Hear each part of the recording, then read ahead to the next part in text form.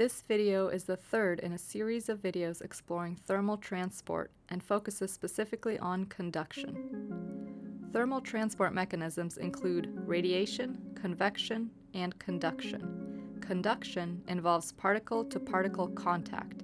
It involves hot particles conveying their thermal energy to cold particles through contact.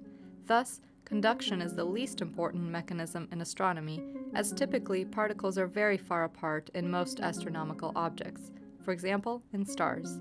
Conduction is the most significant mechanism of thermal transport on Earth.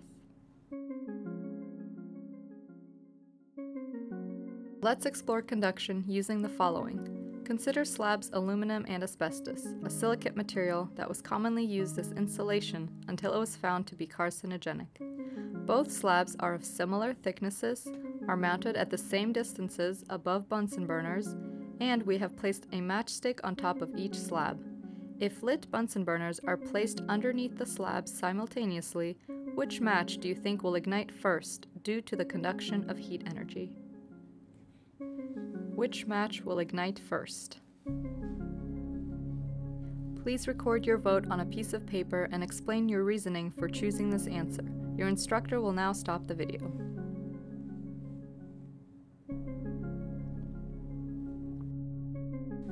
We will speed up the frame rate and see that the match on the slab of asbestos lights in about a minute of time, while the match on the aluminum will take much longer. That may seem a little counterintuitive. Since asbestos is an insulating material, shouldn't heat move less efficiently through it?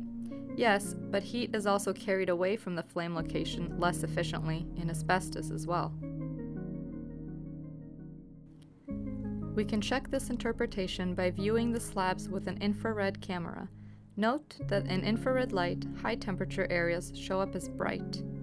So on the asbestos slab, the region directly above the burner, where the match was located, is quite bright, indicating that it is quite hot, while the surrounding area of the slab is not nearly as hot, indicating that the heat energy is not being conducted away from the flame location. On the aluminum slab, the region near the flame is not nearly as hot as on the asbestos slab, because it effectively conducts the heat away and the entire slab is imparting heat to the surrounding air. Physics and engineering courses typically talk about heat flow, energy movement over time, in simple objects like metal rods. The conduction, heat energy delta Q traveling between the ends over time delta T, is proportional to the cross-sectional area A of the rod and the temperature difference between the ends, delta T equals T2 minus T1, and inversely proportional to the length L of the rod. The constant of proportionality kappa is known as the thermal conductivity, which is a measure of how well a substance conducts heat, and its values can be looked up for many common substances.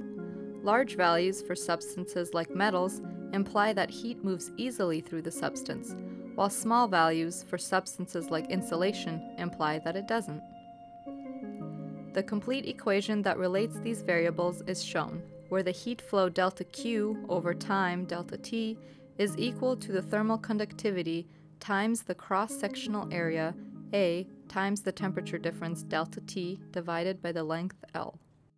We can solve for kappa to easily identify its units as watts per meter degree Kelvin, as one of the meters in area cancels with the meter in length. Here is a table of thermal conductivities for common substances, and we can see that air has a very small value of thermal conductivity, meaning that little heat energy can move through it. Insulating substances like asbestos have very small values, and insulators commonly trap air inside. Conversely, metals like aluminum have very high values, allowing a lot of thermal energy to move through them. Let's discuss an application from astronomy making use of conduction concepts. The underside of the space shuttle gets very hot upon re-entry into the atmosphere.